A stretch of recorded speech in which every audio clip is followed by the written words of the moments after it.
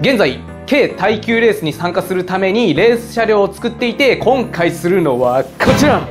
バイクのマフラーエンドでこの商品を使ってアルトのマフラーを作っていきます。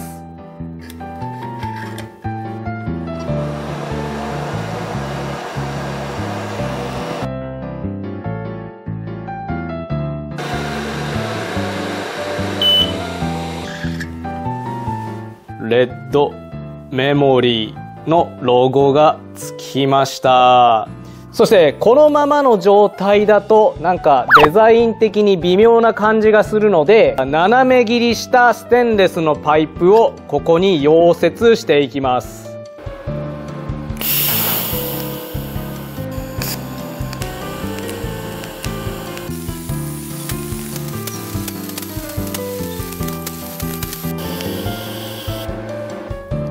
はいマフラーの出口部分の溶接完了です。佐藤さんに頼まれていたマフラーのエンドピース。できました。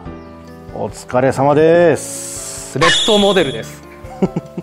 で今からこのマフラーを組み込んでいく前に一旦純正のマフラー音を聞いていきます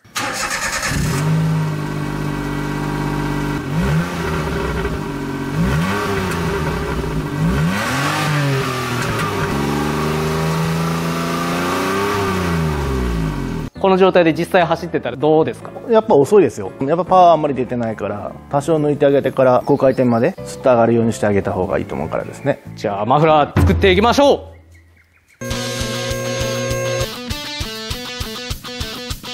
これが今現在のアルトのマフラーの出入り口です。結構迂回してますね。そしてその後ろにサイレンサーでさらにその後ろに触媒。であとはエンジンの方に行ってるって感じです。今回はどんな感じにマフラーを作っていきますか？上の方通ってるのでこの下際ぐらいからで後ろに持っていく感じですね。上通さずに。だいたいこんな感じですね。まずはマフラー取っ払っちゃいましょう。はい。マフラーハンガープライヤーはい。でこのマフラーのつなぎ目のところをこのまま利用すると結構ね無駄に迂回してしまいそうなのでこのグイッと上がってるところをぶった切ってまっすぐにしてストレートでいけるように溶接をしていきます。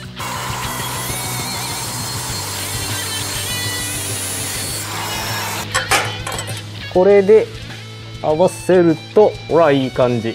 この状態で溶接を進めていきます。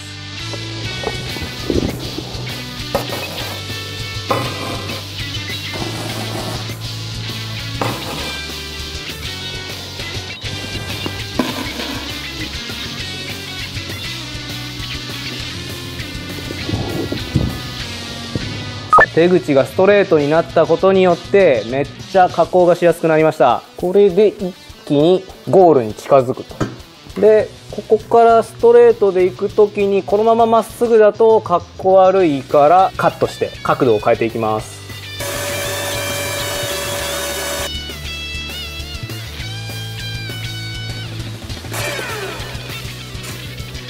今このパイプを切ってこの曲げのパイプをこうやって仮合わせした時にこの中央のパイプをきれいにね避けてくれます。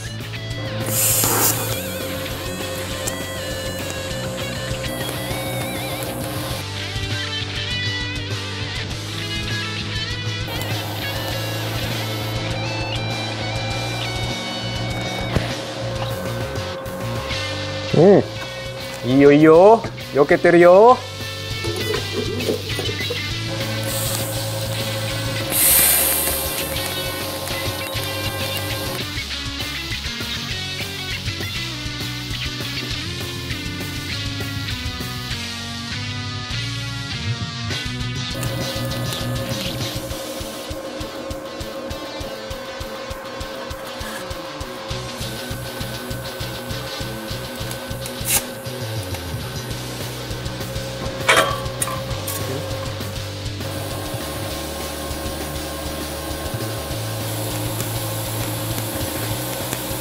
根元の溶接しっかりできてハンガー部分もできました。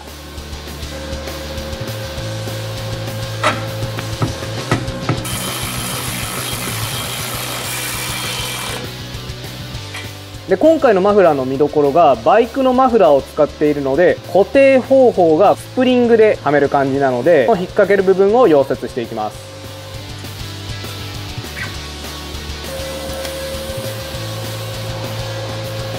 今左右のフックを取り付けたので実際にマフラーに引っ掛けていきます。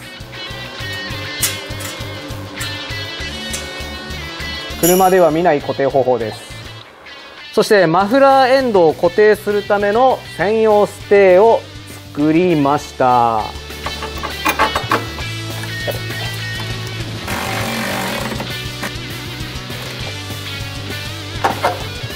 オリジナルマフラー完成です。サイレンサーにはレッドメモリーのオリジナルロゴが入っていてバイク用のものとは思えない仕上がりのマフラーができました。もう純正のマフラーは結構迂回するような形でついていたんだけど今回のマフラーはもう抜けがよくスッとねストレートに近い状態で取り付けができています。そしてリアの足回りを避けるようなこのパイプの曲がり方。素晴らしいです。ということで今マフラーを作った状態での初エンジン始動なので音質がどんな感じになっているのかチェックしていきたいと思います。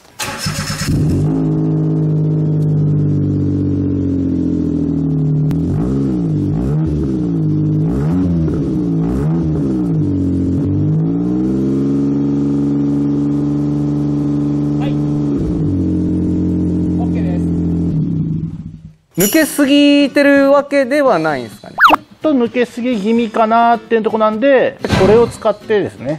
あのーまあ抜けの調整とかもできるんでバイク用のマフラーの場合。それ何ですか？これあのバッフルです。俗に言うインナーサイレンサーみたいな。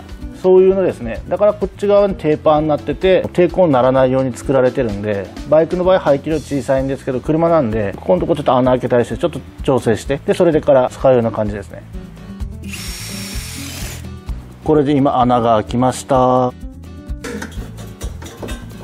そしてここに今加工したバッフルを入れていきます。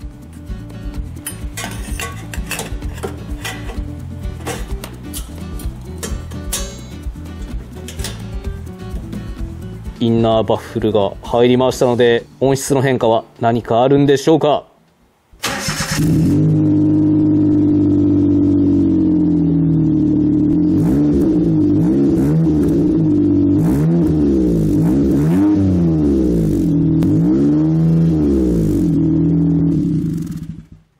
うんていうかね吹きが良くなった。あじゃあさっきはやっぱ抜けやっぱ抜けすぎだったね。車でもバイクでも全部そうなんだけど排気って抜きすぎちゃうと低速トルクがなくなっちゃってスカスカになって走らない車になっちゃうんですよね。実際今バッフルつけました。さっきよりも正直言うとあのレスポンス上がってるんですよこれで。あの吹き上がり今かなり上がった状態になってますね今。開発調整したから。じゃあ今マフラーの調子がいいということで走行テストしてみましょいい音するねこうやって音が消えていくじゃん。少し高回転になると、これ排圧がかかってる状態なんようこれ吸気も変えたらまたちょっと事情が変わってくる。そうそうそうそう。あのー爆発するガスの量が増えるからはい今ぐらいでちょうどぐらいかなって吸気をいじってくるからこの後。でスポット増しをしたことによって何か変化ありました？フロントのノーズの入りが良くなったですかね。やっぱボディが硬くなったからなんでしょうけどパッと切り返した時が、あのーすぐ曲がるようになったって感じですよ。キビキビした動きになるそうですそうですそうです